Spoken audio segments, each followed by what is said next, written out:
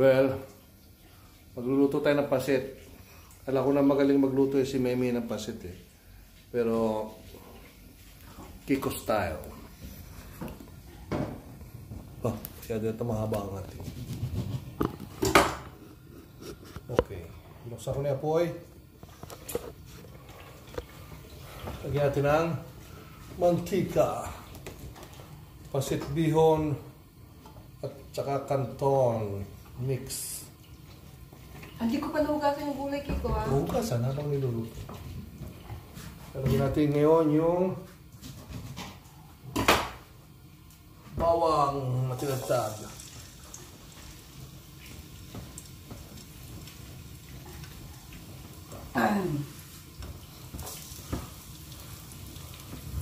Nood ka, Meme. Jing. Mga aking mga BFF. Nasaan yung ating sandok? Ang tandok. Ang tandok. Kahoy. Naipid mo.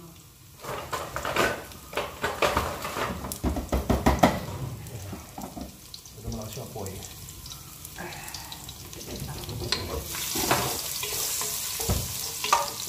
Hindi ba nangyari, Tata? Pero ako, imbes na yung sibuyas ay sunod, sinusunod ko yung karne. Ay, pucha. Ah. Alam ko ano yung ano, Kiko? Yung balde. Oh. Teta mo, re. Teka. Okay. Hindi muna sinusunod ko. Gusto natin ng konti apoy.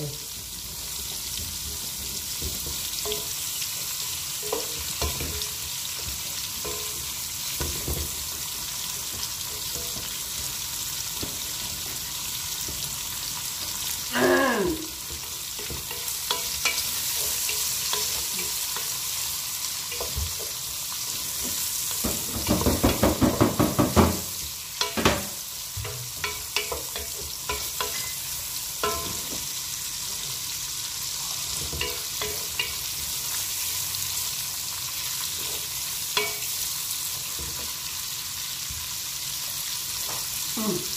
Ano kayo?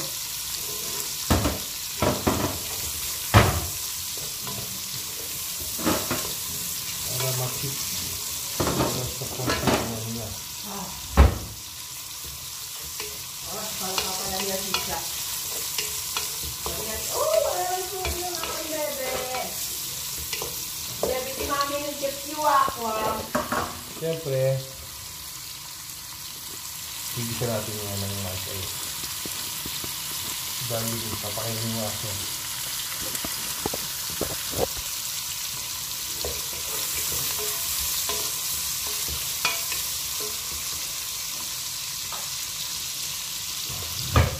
Pancetta. Sati, ano ba sa atin ang pancetta? Ba, tama ka ng balong ko eh. Ano sa atin ang pancetta? Um, yan po.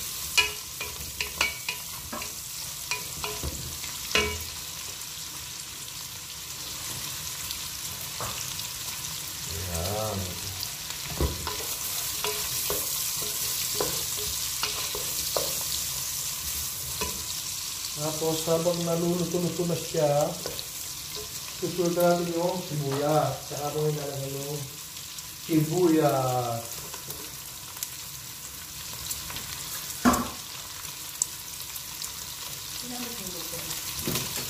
para lumabas yung mantika niya. Lumabas yung mantika niya.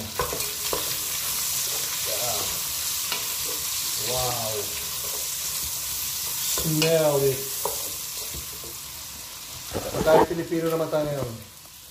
Yung mga kiskiki, oh. Nag- Yun, oh. Nagkita siya ng pagkain. Yun. Pumasok siya ng lamesa. Taling, saluta. Yeah. Para extra ka. Basta yun.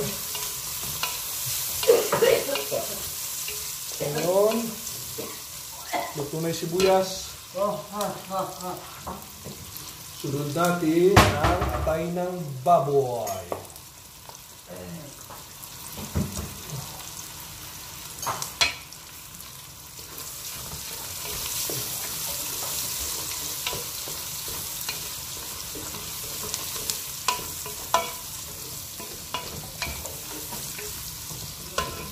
Ugasa ko lang yung carrots.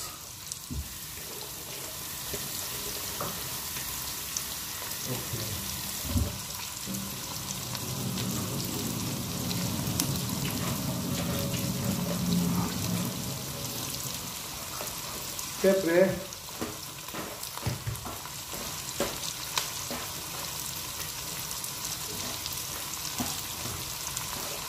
Ulit lang yan. Pag nagisa mo ng ganyan, lagyan mo siya ng paminta.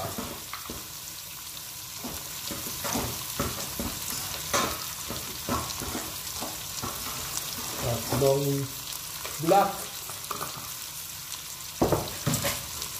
Isa yan eh. Pepper. Habang ginigisa. Si Kiki, yung aming dog na yun, no, nakain. Uh, kasi hapunan, Mas daw siya kumain. Hmm. Tapos ilalakas siya mamaya. Okay. Ayos na yan. Unahin natin yung carrots kasi mas matagal siyang maluto kaysa sa ibang gulay. Pero ang carrots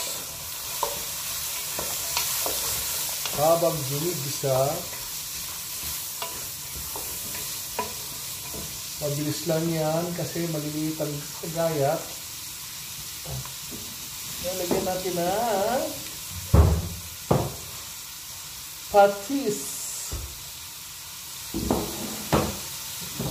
Thailand, Thailand patis. Pusit siya. Patis na pusit. Yan. Total po, konti na siya. Lagay ko na lahat.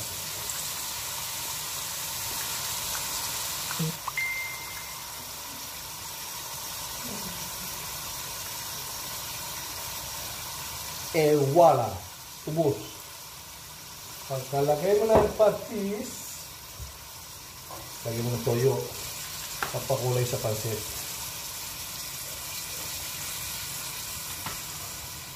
Hindi ako natikim ng niluluto ko. Yan.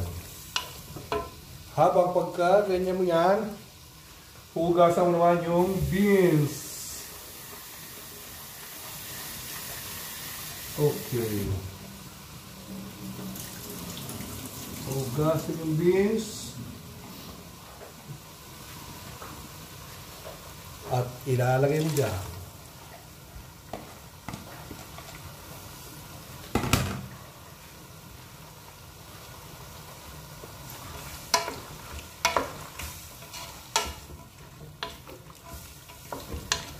Gusto? Isang damakmak na gulay at karne.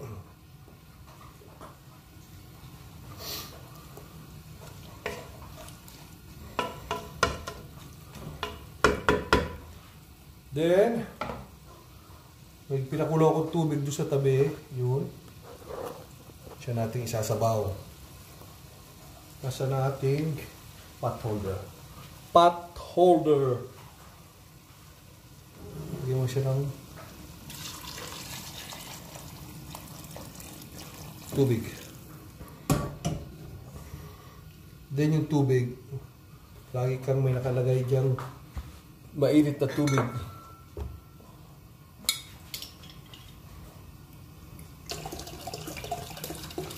Kasi baka sakaling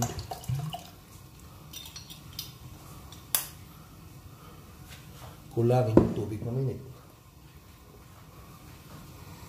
Halo lang. Ako, kung maglalagay ng gulay, palaging half cook. Kasi habang lumalamig yung pansit, mamaya, maluluto siya. Kaya, i-half cook mo lang yung kulay. Pakukulin ko lang. Tapos alagay ko repolyo.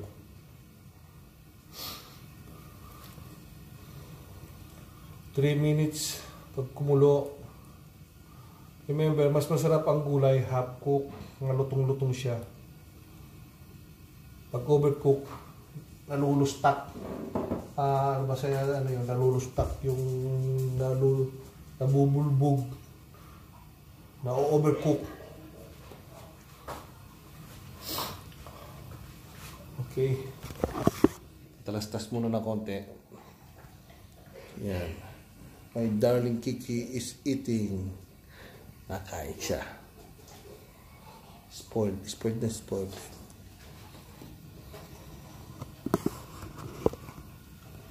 Okay. Let's take a look.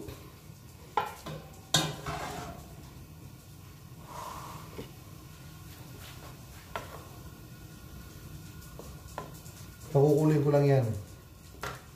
Pag kumulo yan, ilalagay ko naman yung repolyo.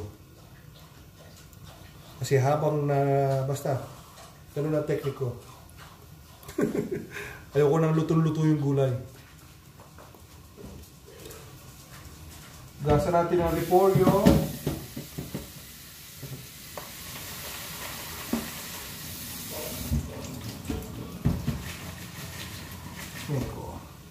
Eko, eko. Ayan. Nakulo na, oh.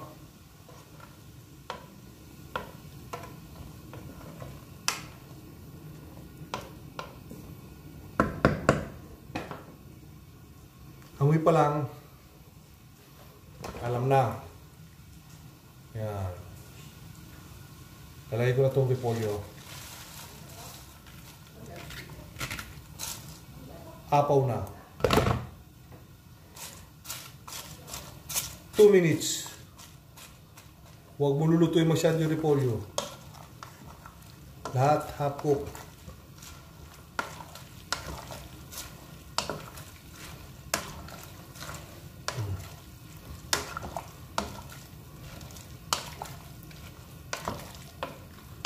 Two minutes lang ha. Sinasabi sa inyo, 2 minutes lang.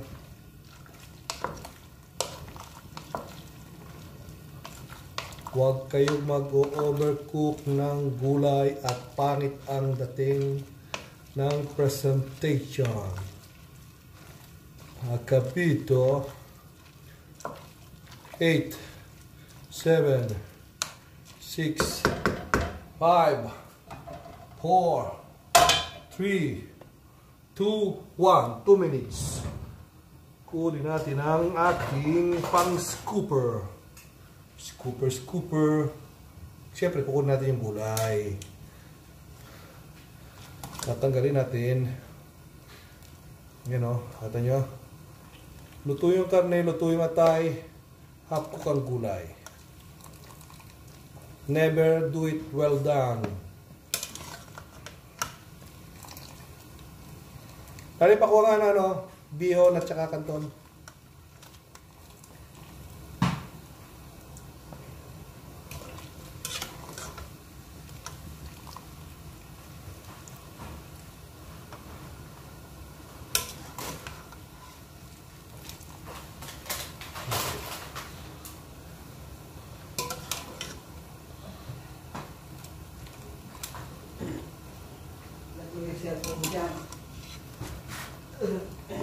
12.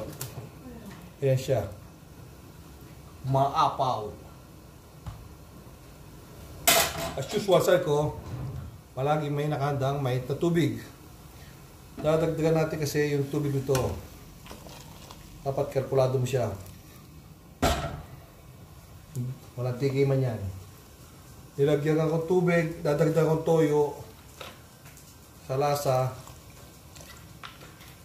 sa lasa at kulay. Matabang pa rin yan timplang yan. Kasi bakit matabang? Gawa ng sotanghon. Wala siyang asin. Ito yung sotangon niya. oh. Chinese sotangon. Ewan ko meron sa atin ito. Meron naman siguro sa atin ito. Ito ay, ilang kilo siya? Ilang kilo to? Basta. Hindi ko na kung ilang kilo to. Basta sa supot. Kailangan natin ng konti apoy.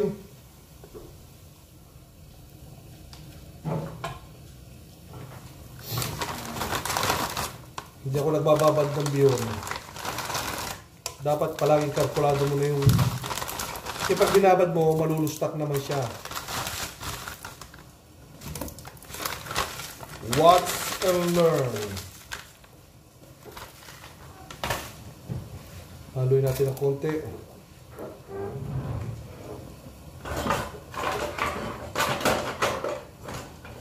Kailangan natin ng isang sandok. Nasaan ang isang sandok?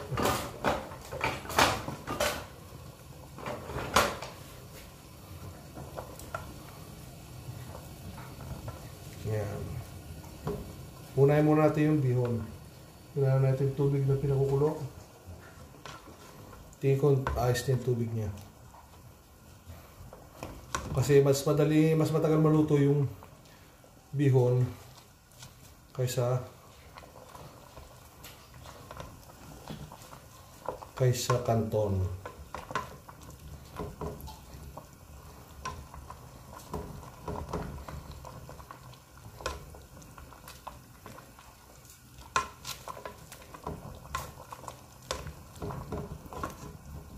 Within 30 minutes, luto to. Nakaka 15 minutes pa lang tayo. Sa pool nung magluto. Lakas ako ng konti.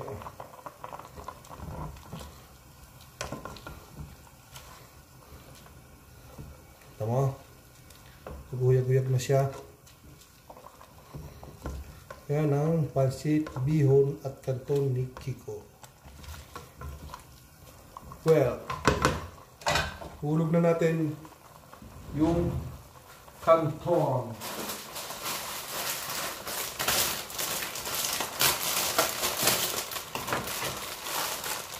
UFC. Galing sa Pilipinas.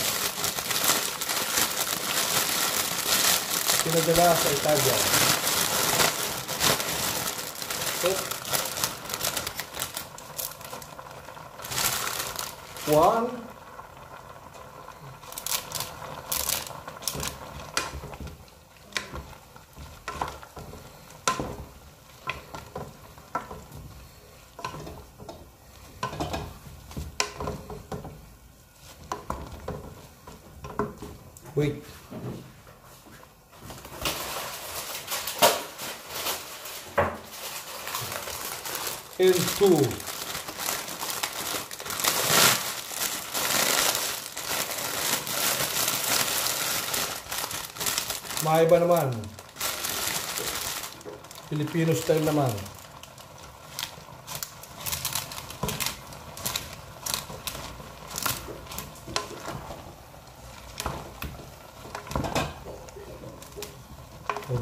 ko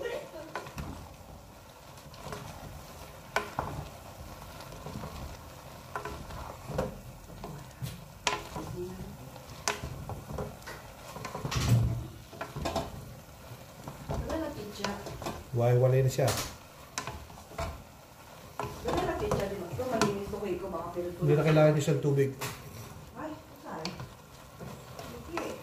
Ngayon, ilo-low fire nyo siya. Hindi, hiwa-hiwalay na siya. Low fire. Half of the recado, lagay mo sa ibabaw. O mahigit sa half.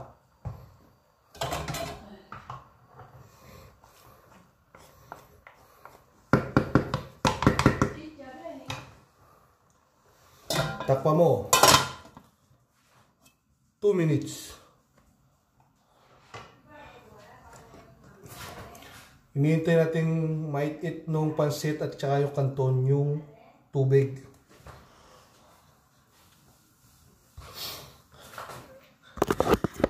Saglit lang yan. Malapit na.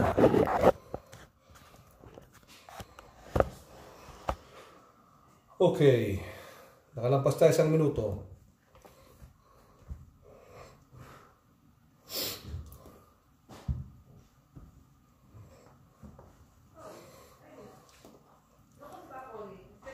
One minute. At mahigit. 40.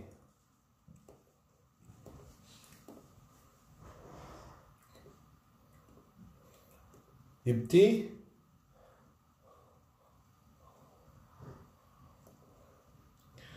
Eight. Dalawang minuto. Nakalipas ang dalawang minuto. Look at that. Look at that. Look at that. Ang pansit. Nakita niyo yung lahok niya? Yan. Ang sinasabi ko. Always perfect. Tapos, luto na yan. Lalagay mo yung huling gulay. Tapos,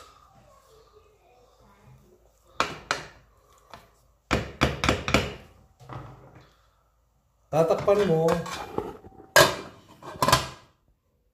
and kill. Kill the apoy.